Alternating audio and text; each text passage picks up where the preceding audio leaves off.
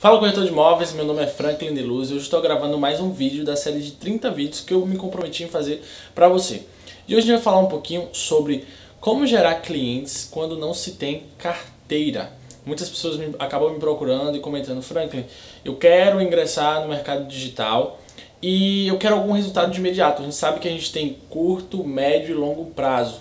E muitas pessoas querem ver o resultado mais rápido, querem ter logo o cliente, querem fechar algum negócio utilizando as técnicas digitais. E hoje, o principal meio que a gente tem para fazer isso mais rápido, de imediato, de imediato, ter um resultado expressivo, fechar alguma venda, é optando por portais imobiliários.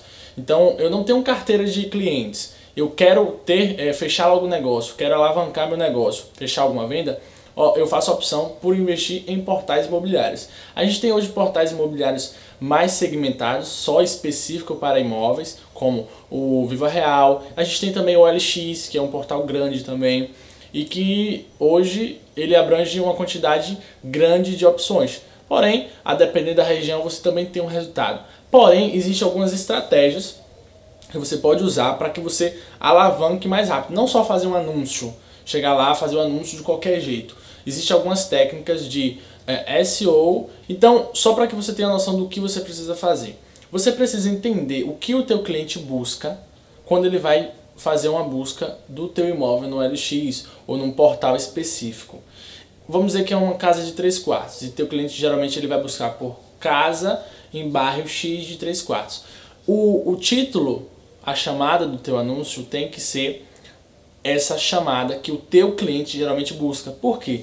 O, os portais imobiliários utilizam mecanismos de busca do Google, uh, Facebook, tráfego orgânico, tráfego pago também, mas só que quando você é, facilita para que o teu anúncio se posicione melhor do que os outros, mesmo se o portal invista em anúncios pagos, que muitos portais fazem isso, é preciso que você utilize essas estratégias para que você saia na frente dos outros eh, concorrentes que também estão anunciando nesse portal.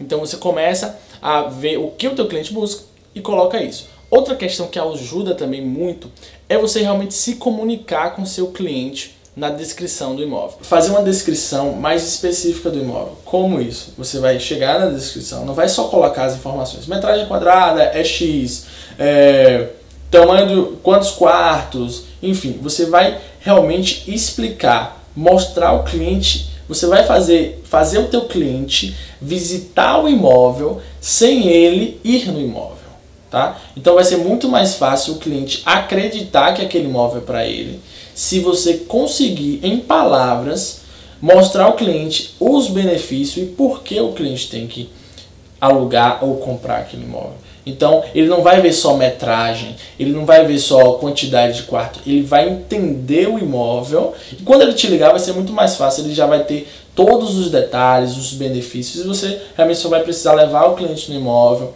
mostrar o imóvel, vai ser muito mais fácil a venda acontecer. Inscreve aqui no meu canal, comenta, compartilha e faz tua pergunta também para o próximo vídeo, tá? Um abraço e te vejo no próximo vídeo.